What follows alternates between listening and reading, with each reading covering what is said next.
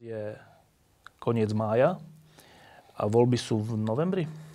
Komunálne voľby sú v novembri. To máš pár mesiacov. E, teraz prídu všelijakí superi, aj politickí, aj iní. E, ty si myslíš, že toto bude výťazný plán Bratislava?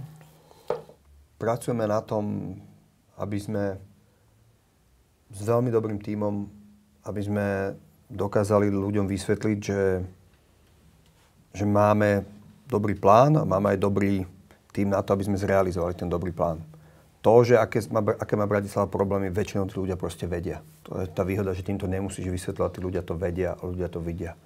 My hovoríme o tom, že nie sme tu noví, nie je to pre nás nejaký postup v politickej kariére, ani nejaký politický dôchodok.